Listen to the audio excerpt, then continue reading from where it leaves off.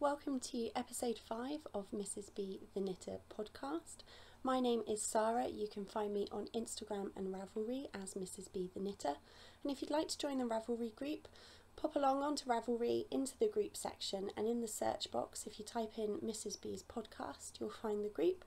Please do come along and join us. It would be lovely to chat with you. Um, so if you're new to the podcast, thank you so much for coming along and giving it a try. And if you're a returning viewer, thank you so much for coming back. Um, I've been really chuffed, really pleased um, that so many of you seem to be enjoying it. Um, and there are a couple of people I would like to say hello to. Um, so today is the 9th of March, it's Wednesday, and it's my mother-in-law's birthday. So hello and happy birthday. Um, also Christine, um, he sent me some lovely messages um, on Instagram. Uh, thank you so much for saying all those lovely things about the podcast. Um, that that's just yeah, so lovely of you. Thank you so much, um, and I'm glad you're enjoying them. So um, I've been catching up with um, some podcasts. I've been catching up um, with Mina Phillips. Um, her Knitting Expat podcast and Molly from a Homespun House. I routinely watch Little Bobbins, which is Danny, um, Fluffy Fibres, um, who's Isabel, and Molly and Mina. But I've recently found two new podcasts that I really enjoy. Inside Number 23 with Katie, um, who's here in the UK, and Junk Yarn podcast with Kemper, who is over in the US. And I've just recently discovered those podcasts and I'm really enjoying them. Um, one thing I do like about them uh, that a lot of the podcasts have in common is that we all seem to be within the fibre community a big fan of warm drinks. Um, be it tea, be it coffee, uh, and I love that because there have been a few teas mentioned that I've now gone out and tried, and I love them, really, really enjoy them. Sorry, still got a little bit of a tickle from when I was poorly. Um, and I drink a lot of tea, and I thought uh, there might be some teas that I drink that maybe um, you guys would like to hear about. So um, in my mug today, my lovely star mug, um, I have my leaf strainer, um, which has a little stand that it can stand on, but I just leave it in my mug. Um, because I don't drink a lot of black teas or very strong teas um, and I don't mind if they slightly overbrew. So I leave it in my mug I'm going to have a little sip now just to clear that tickle. Hello, Miss Hattie. And in there today, I have Formosa. I I think it's Formosa because it's only one O. Formosa Oolong Choice from All About Tea in Portsmouth, which is a lovely tea import-export blending company. And they also have a tea shop within their tea factory and um, they do fantastic cream teas and chocolate cream tea where instead of a scone and clotted cream and jam you get a gluten-free brownie with clotted cream and raspberries uh, along with your pot of tea. And it's lovely and it's a lovely atmosphere um, lovely comfy armchairs to sit in candles on the table and you're just surrounded by this beautiful smell of all these different tea blends. So if you happen to be in the Portsmouth area all about tea do go and check them out because they are fantastic. So, onto a little bit of knitting. Uh, I don't know how Hattie's going to feel about the knitting kind of floating over her head, so we will see. Um, the first thing I have to show you um, is actually a work in progress, where progress has been made. Shock horror. Um, my knitting mojo that disappeared in February um, when I was poorly has come back again. Um, so it's in my knit and stitch bits bag. I have both the medium and uh, small size of this bag and it's Katie Knit and Stitch Bits based in Australia um, but has really good worldwide shipping rates and I just love her bags absolutely love them.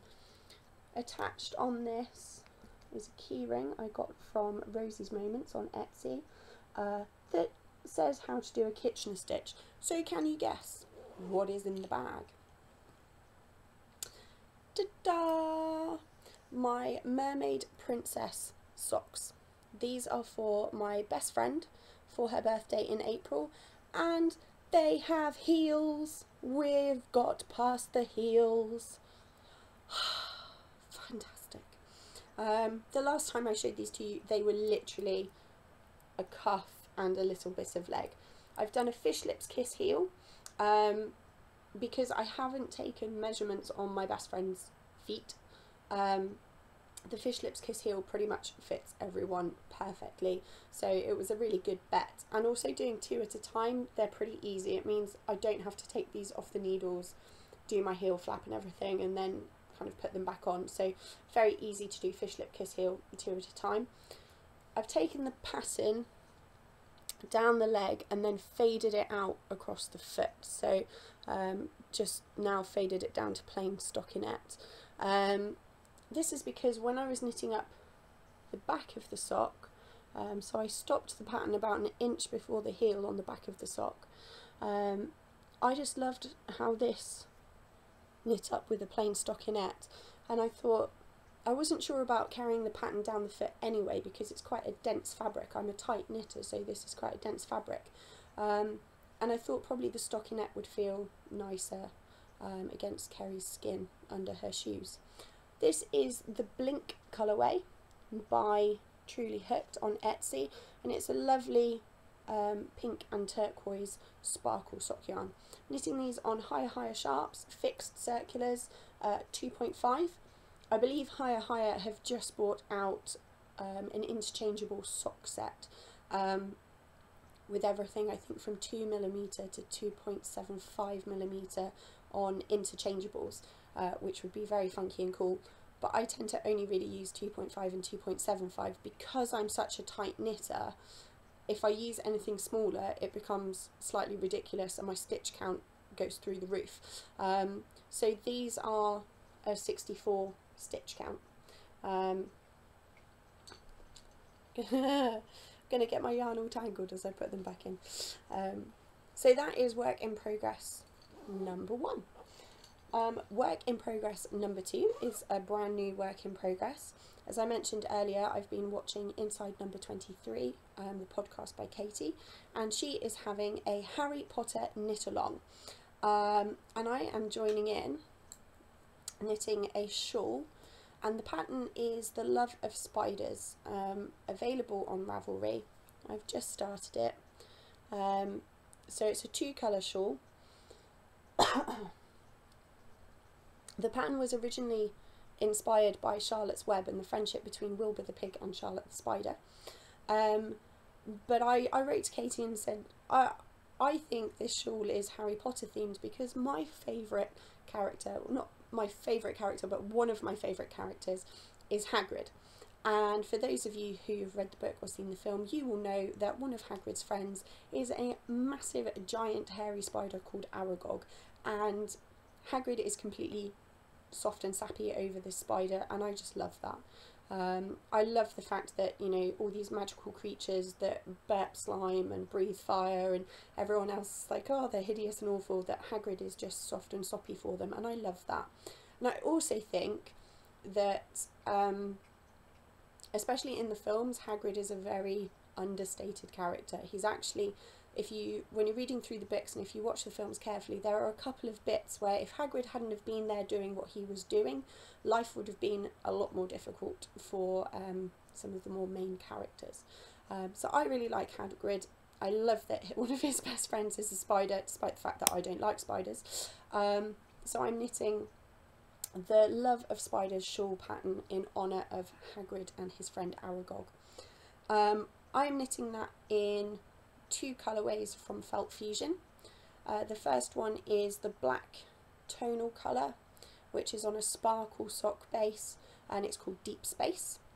And the second is again on a sparkle um, sock base, and it's called Shot Through the Heart.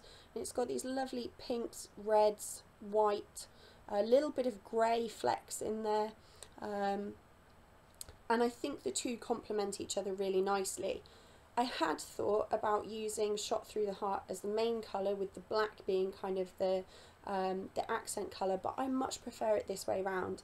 I had a little play around with the yarn and I thought no I want I want the black as the main colour with that, that secondary colour being the variegated and I think also sticking on the Harry Potter theme, that the Enchanted Forest, um, where Hagrid is obviously the gamekeeper of the, the Enchanted Forest, it is very dark. People are warned about going into it, but there are these beautiful kind of flecks of light in there. Um, unicorns live in there, the centaurs live in there. Um, I think the Thestrals are, you know, not hideous. I think they're pretty cool. Um, and um, I especially liked their portrayal in the in the film, um, especially when the bats come out. Oh no, that wasn't. That was the hippogriff. Um, the hippogriff. He lived in the forest as well. Um, yeah, so lots of nice things live in the the dark enchanted forest with these flecks of light. So um, I think that works really nicely, and it's sparkly, um, which obviously Harry Potter is full of magic and and sparkle. So that is a brand new work in progress. And then my final work in progress to show you, if you watched the last episode, I showed you my Dr. Seuss themed box from um, Felt Fusion and one of the skeins in there was this beautiful single ply superwash merino fingering weight called Truffula. Um, and Truffula, I have found out because I googled it, um, are the trees that grow in Horton Hears a Who and they have stripy bark and on the top they grow these fluffy pom-poms. And the fluffy pom-poms are harvested to make fibre which are then knit into sweater type jumpers, sweater type garments um, that are called thneeds and um, when I showed you the skein I said I think this needs to become a baby jumper or a baby cardigan. Um, that's what I feel it wants to be. Um, and all my friends are having boys, and I would have no problem with a boy wearing these colours at all. Um, but I know that traditionally people wouldn't necessarily think to put a boy in this colour, and all my friends are having boy babies, which is lovely. Um, and we really don't mind people having boy babies, not a problem at all. Um, but I desperately wanted to knit uh, a baby cardigan out of this colourway um, but I didn't feel I could do that if I had no baby to knit it for. And then my friend who um, is expecting who I started the the ripple blanket which I showed you last time which I've done no work on sorry um, she announced that um, everything was going really well with her pregnancy baby was healthy and it was a girl. Um, so I've been I have no problem making things for boys. I'm making things, uh, a friend of mine has just had a boy and I'm about to start making her something for her little boy. Um, I showed you the crochet um, little boots that I made for my friend's boy who's due later in the year. Um, it just seems to be there's a lot of boys happening this year. And so my friend, when she said she's having a little girl, said, I've got the perfect skein of yarn to make a little something for your little girl. Can I start knitting now that you say that everything's okay? She said, yes so I started knitting. So this is a the baby vertebrae pattern by Kelly Brooker on um, Ravelry. And it's just so cute. Just so cute. Um, I love how the colours are knitting up and I just love how soft this is. It's just so soft and scrummy. At some point I think I want to make myself something out of a superwash merino single ply because this is just so soft and scrummy. Um, but I thought these colours would actually be perfect for um, not only for my friend's baby but also for my friend because she is um, very very vibrant. Um, she's one of those people that just goes at life full pelt which just I, I love her attitude to things and she's also the friend who taught me how to knit in the round reintroduced me to knitting after you know I learned as a child and then completely forgot about it and loaned me the first ever pair of circular needles that I used. Um, she also opened up my eyes to fibre in general. I hadn't really cottoned on to you could make your own fibre. It was kind of um, you could make your own yarn and you could buy fibre and so she's a very special person to me and um, I hope she likes this when it's finished but um, oh it's just so cute and I think yeah I'm, I'm loving knitting on this. I'm knitting this on my HiyaHiya Interchangeables 3.25. And just to make it that little bit extra special, it is being housed in a very special project bag. My mum made this project bag for me, and for those of you who watched my uh, after Christmas episode, it matches the needle case that she uh, she made for me, which is now full of all my fixed circular needles, all my DPNs, and all my crochet hooks. So I may have to very kindly ask my mum to make me another one uh, because it is super duper full. So I have a little matching set from my mum and the details that she's put on this. At the end of the zip there's a little daisy flower and at the end of the zip on the other end there's a little daisy flower and bless her heart she came to visit in the week before Mothering Sunday. And she gave me this wrapped up with a little note that said Happy Mother's Day. Without you I wouldn't be a mum. So thank you for being my daughter. So lovely. My mum is just so lovely. Um, so yeah special little project bag there. And she has said that there is more of this fabric left over and would I like a bigger bag? And I think I'm going to have to say well yes because then I can have a, a complete set of three. Um, so that's very I love my mum bless her. Um, she is one of the kindest most patient giving people that I have ever met. Um, and I love bless the fact that she she this is not the first time I've had a mothering day present a mothering Sunday day present from my mum. Um, she doesn't do it every year, but every now and again she'll she'll give me a little present on Mother's Day to say thank you for being my daughter so that I can be a mother, which is just lovely, very, very sweet. so, on to um, a little bit of um, spinning. So some works in progress for spinning. Uh, I'm calling them works in progress because they're not yet finished. They haven't had a bath. They, the twist hasn't been set. This is the first ever, ever yarn that I spun on my spinning wheel. It is Grey Corriedale from um, Fondant Fibre and it's not too bad, but it's not brilliant. But it was my first try, so I don't mind. I really don't mind that it's not perfect. I'm going to leave this as a single ply and I will probably knit something like a little toy or something like that out of it. I don't really think it's fit for any other sort of purpose. If you look, I've over twisted bits, got really, really thin bits, got really, really thick bits with barely any twist in it. This is just going to be made into something that will remind me that this was my first hand spun and um, I'm pretty proud of it. So uh, my first hand spun on my wheel. Obviously I've spun things on drop spindles before. This is also awaiting a bath. These were the second and third things that I spun on my wheel and I then plied them together which is the first time I've ever plied anything um, and it's come out pretty well. This is um, from Hilltop Cloud. It was the two braids of British wool from my Hilltop Cloud Learn to Spin on a Drop Spindle kit. Um, lovely grey and the other one is kind of burnt orange with bits flecks of yellow and flecks of red in. Again, we've got everything from, you know, thin, I would say sport weight, right up through to easily bulky or chunky.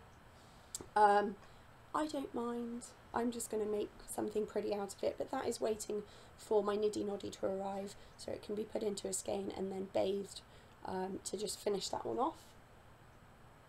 I'm currently spinning up this beautiful black Welsh mountain. Um, it was a braid, it's now not a braid. Um, black Welsh mountain fleece and it's from um, so there's its label, Black Welsh Mountain, from Fondant Fibre. Um, and it's spinning up pretty nicely. I am just going to very quickly, I have a little hattie on my lap and I think this might disturb her, but I'm just going to turn, there is my spinning wheel. So up here, you can't see it because I've got it the wrong way around. Let me see if I can turn it. Uh, there we go. So I'm spinning up the Welsh um, Black Mountain. That's coming out pretty nicely. I'm getting a fairly consistent spin on that and I, I'm pretty happy with that. Um, on my wheel I did buy an Ashford maintenance kit and I replaced the Scotch tension brake band um, which it didn't have one when I bought it. I've also replaced the drive band and I've replaced the leather bit that's down on the bottom that connects the, the treadle to the rest of the wheel. Um, it also, the maintenance kit came with the threading hook, which is very useful um, because this spinning wheel didn't come with one. And on a little bit of hand spun, I've just attached um, the little tool from Hilltop Cloud that tells you how thick your yarn is, so, so what it would be classified as, which is very, very helpful. My spinning wheel was being sold off as an ex pantomime prop, so it had been used in a production of Sleeping Beauty. On the description, it said, um, on the description, it just said, We're not spinners, we think it works when you press the pedal, the wheel spins. Um, it came with four bobbins and a lazy Kate. It also came with some carders, the, the kind of brush type things. I still don't know all my terms, I'm very sorry. Um, and all I've done basically is cleaned it, bought a um, Ashford maintenance kit for it and replaced a couple of bits and I bought a new bobbin for it as well. Um, gotta love eBay. You've really got to love eBay. Um, because, you know, looking at various kind of spinning wheels, they, they easily go for 150 upwards in terms of cost. Looking at brand new spinning wheels, you're looking from you know 250 to 450 pounds, and um, I managed to snag this one for less than a hundred. Um, so the total cost with the new bobbin and um, the maintenance kit. Uh, and everything has come to less than most second-hand wheels, which I'm very appreciative of. It does have a few paint spots on it, so someone has obviously either been painting sets or painting a wall or something and just kind of dropped magnolia paint onto it. But I don't really mind, it's clean, it works, um, and thank you so much to the Hilltop Cloud Ravelry group, especially Katie, um, who runs Hilltop Cloud, and Anne, um, but everyone who participated when I posted questions about my spinning wheel they were so helpful and so lovely. And basically without them I think I'd still be staring at a beautiful spinning wheel going ah I don't know how to get this thing working. Um, so thank you very much to them. On to some finished objects.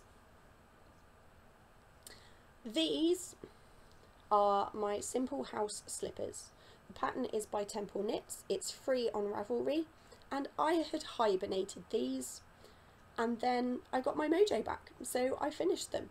They're very, very comfortable.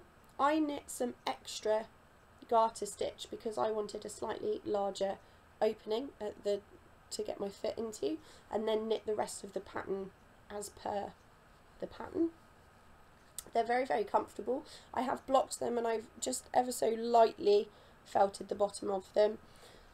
They are knit out of Blacker Yarns Zwarbatals, I think is how you pronounce it, double knit weights, and it's pure Zwarbatals, and I really hope I'm saying that properly because I feel so silly. Um, so it, it's a little bit coarse, um, but ideal for slippers, and they're just, they're so warm and they're so comfy. So I'm really glad I finished those, and I will be making some more. Uh, be warned, people. Uh, if you are in my family, Christmas, methinks that everyone's getting slippers this year. Um, the other finished object that I have to show you is the one that I am wearing. So um, this is the Starman shawl um, by the Wool Kitchen. Um, it is knit out of the other skein from my Dr. Seuss box from Felt Fusion. Fun that is funny. And if you remember when I first showed you that skein, I said I don't know what to do with it. I'd want to knit something for Simon out of it, but it's sparkly and he doesn't wear hand knit. And I was just kind of having one of those days where I was just browsing on Ravelry and Instagram and I saw Helen's picture of her Starman shawl that she'd knit out of um, the Ziggy colourway, which is one of the main colourways from the Wool Kitchen and is absolutely gorgeous. Um, and I suddenly thought, bold colours, sparkly yarn, Starman, this lovely star stitch. It was just meant to be, absolutely meant to be. And I think I knit this in like four days, which for me is really super quick. I am not a quick knitter, I'm a very slow knitter. Um, I pick things up, I put things down. Um, I'm also physically slow at knitting, I don't knit very fast. Um, but yeah, this knit up really quickly and it was just beautiful. It blocked out nicely, but I do think I need to reblock it because there is a little bit of curling going on along this edge. Um, and I wear it as a little kind of scarf et type thing. Um, so I kind of tuck the ends up, keep my neck nice and warm. And I just love it. I think it's come out really, really nicely. Um, and it's kind of got me obsessed with shawls, hence why I now have the love of spiders cast on. Um, I suddenly started, I, I'd made the Curious Handmade um, Summertide Mystery Knit Along shawl um, way back and never worn it. And then I suddenly started, I was like, why am I not wearing this? This is this is bonkers. Um, it's really pretty, I made it, I should wear it. And I started wearing it and suddenly went, I want some more things that I can wear like that. So, Starman, and um, hopefully fairly soon, the love of spiders. So that's it for finished objects. Um, I do have a couple of new things to show you. So last time I mentioned I'd ordered myself a birthday flowers box from Korutumi on Etsy. Um, I've been so good. It arrived on the 29th of February, ready for the 1st of March. This is the, the, the March birthday box. My birthday is not until the end of March and it's still in its packaging. We're nine days into March and it's still in its packaging. um, so um, that's really good for me um, that I haven't just opened it up. Um, I'm, I'm leaving this till my birthday. I'm going to open this on my birthday. So technically it's a new thing, but it's kind of not yet a new thing because I haven't yet opened it, so I can't show you what's in it. But last month I also ordered myself a the next yarn box from Felt Fusion because I just love her stuff. Um, I now have a Hattie back on my lap uh, and she's now investigating the box. Um, and I've never ordered mini skeins before but um, Shadow who runs Felt Fusion was doing a rainbow mini skein box and I love rainbows and I thought I've never had mini skeins before, this would be a perfect way to try mini skeins and um, also to have some rainbow stuff. Uh, so I opted for the variegated option and look, look, look, look, how gorgeous are they? Oh my gosh, even Hattie says they're gorgeous. Um, absolutely just lovely. This is on her um, superwash merino and nylon sock base. Um, I think my favourites are this one in the middle here, which is a lovely kind of sherbet colour, and this one, which is white with these lovely neon pops of colour. So we've got a white one with neon, we've got a grey one um, here, which is a very light grey with um, rainbow stripes. We've got a darker rainbow, and what I would call a kind of a primary colours rainbow, kind of a crayon rainbow and then this lovely one which is more neony um, and then the little sherbet one at the back. Um, I don't yet know what I'm going to turn them into. I, I quite like everyone's Cozy Memories blankets. Um, I quite like the Crocheted Weekender blanket. So I might split them into half and do one of each. But I'm thinking maybe scrappy rainbow socks. I think that could be quite nice. Um, there's 100 grams there. I could make a, a good pair of socks out of that. Um, so I don't know yet. At the moment, I'm just squishing them and loving them and petting them because they're just so cute. So darn cute. Um, in the box with them there was a lovely rainbow sticker which has been um, stuck into my knitting journal along with the Dr. Seuss um, sticker that came last time. Um, but there's also magnetic rainbow pegs. So these will be making their way onto the fridge to hold onto the postcards and the such like. Some lovely rainbow buttons. And a unicorn chocolate lollipop with hundreds and thousands stuck in the side here. Lovely, lovely, lovely. You may notice there's been a little bit of unicorn sabotage. That was my husband. Lesson learned. Don't allow my husband to inspect yarn box contents unless I am holding on to said yarn box. Because he will sabotage your beautiful unicorn. so that's it for um, my knitting and spinning. Um, one thing I did want to finish up with is um, this podcast for me is all about enjoyment, all about um, fun, uh, something that's just for me, just for fun, uh, something to share kind of with anyone who would um, like to share it with me. And um, I would like at the end of each podcast to just add in something that I enjoy, that's fun for me, um, that I can share with you, and it may be something that you then go and try or have a look at, and you might enjoy it. So, this week, um, I want to talk about books, and yesterday was International Women's Day, and I have some favourite female characters and favourite female authors that I would like to share with you.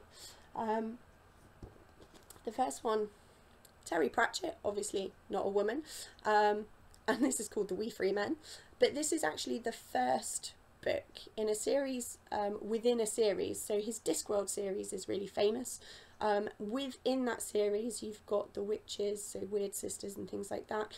Um, this is the first book of the Tiffany Aching series. And Tiffany Aching is a very young girl who is a witch who doesn't realise she's a witch. And her brother gets kidnapped by the Queen of the Fairies. Um, and fairies are not twinkly, sparkly things that uh, we think of. It's a hilarious book. These little guys, the Nac Mac Feegles, just crack me up. They are so funny. Um, and I love Tiffany Aching. I think she's a fantastic heroine.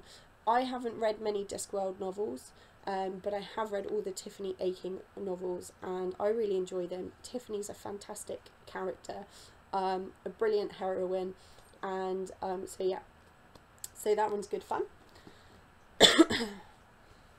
One of my favourite female authors is Philippa Gregory.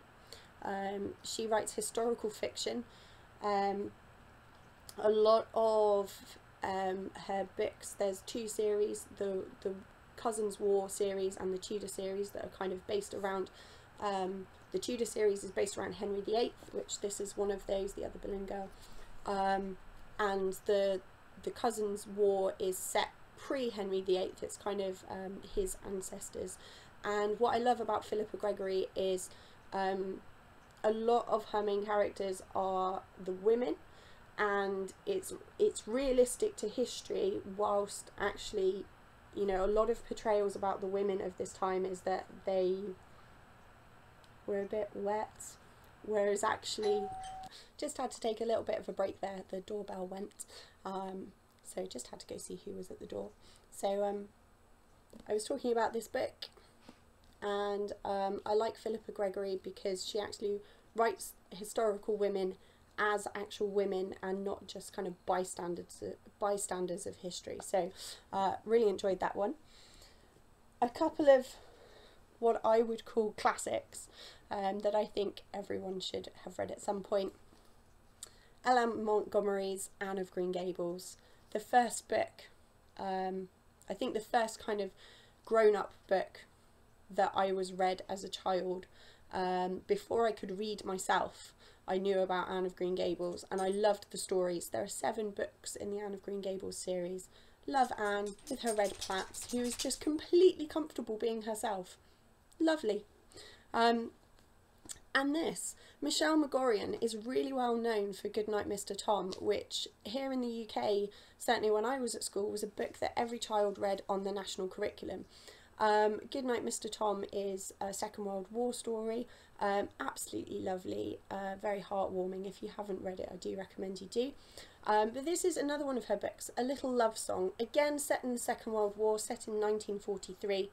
Um, and I just love it. The main character, Rose, it's really about her coming into herself as, as a young woman, um, knowing her own mind and having the confidence to stand up for that.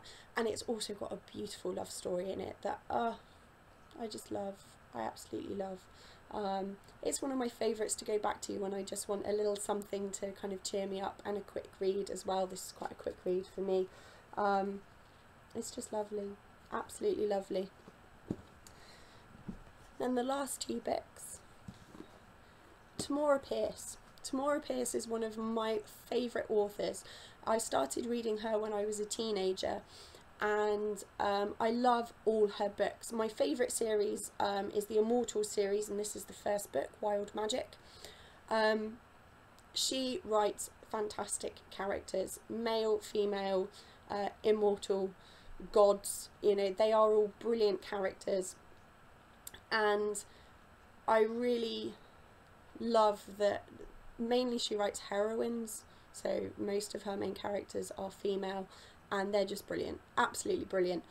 Some of them are princesses some of them are queens um, some of them are warriors some of them are just regular normal people some of them are magic some of them aren't magic.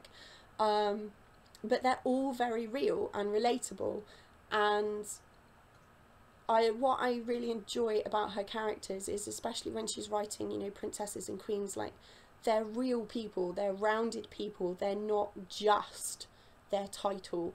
Um, and I think that that's something that having three goddaughters and seeing them grow up, um, I think is important. Um, that they learn that they don't have to just be a princess. There are other options for them, and I, I love her books. Um, on a still magical theme, how could I mention female authors um, and characters without mentioning the Harry Potter series by J.K. Rowling? Um, oh, who doesn't love Harry Potter? I love Harry Potter. Um, this is the final book, Harry Potter and the Deathly Hallows. I find that my favourite books are books five and six, so Order of the Phoenix and The Half Blood Prince. I know that the Order of the Phoenix wasn't necessarily the most popular book in the series, but I like it because it's the book where everything shifts. So books one to four, we've kind of been having adventures and it's all magical. And yes, there's been danger and there's been very real possibility of everyone dying. Um, and obviously there's Lord Voldemort and, you know, it, it's dark and scary. But for me, book five is really the point where Harry, Ron and Hermione and their friends really transition into a slightly more grown-up um, perspective on the world. And I think it's handled really nicely and done really well. Um, and you also learn a bit more background about all the different characters, which I really like. Um, I also like the films, but I think book four um, was the first thick book, and there were elements missed out in the film that uh, kind of film four and book four is where the two paths kind of diverged. And yes, the films are still fantastic, and I still really enjoy them, but the books are always going to be my favourite. And I think J.K. Rowling is superbly talented. So, um, yay. So that's really um, it from me. I just I thought I'd share something with you that I really enjoy. Um, that you might think, oh, I'll go and have a look at that book or have a look at that author. I hope you've enjoyed it. Um, I'm going to try to film every couple of weeks, which as a slow knitter gives me time to actually finish things to show you. But before I go, the doorbell rang. I had to run away. Um, and it was the postman. He was delivering this lovely box. And in this lovely box, haven't opened it yet. But since we're here, I shall open it with my I have children's scissors because I kept I kept lo- I had a really nice pair of proper kind of crafty thread scissors and I lost them and um, I wasn't about to spend lots and lots of money when all I do is pretty much cut yarn with them um, and open boxes. And so I went and bought myself some kiddie scissors. Um, in this box exciting exciting. I said I was waiting for it to arrive earlier. So in this box, through loads of wrapping, which Hattie's going to love, we can turn this into a, a game for Hattie later on, is, when I can get to it, oh, hopefully, yay! My Niddy Noddy in three pieces from Wood Beach on Etsy. Um, this is, uh, he's a wood turner in um, in Wales. I believe he's Hilltop Cloud's dad. Um, and this is local ash, so this is local to, to him. Um, comes in three pieces. I have a niddy noddy. Eee! I can go and wind my skeins and um, soak my hand spun. Woo! So I can show them to you next time. Um, fantastic. I just thought I'd open it while we were here. So thank you very much for um, coming along and watching the podcast. I hope you've enjoyed it and I will see you next time. Bye.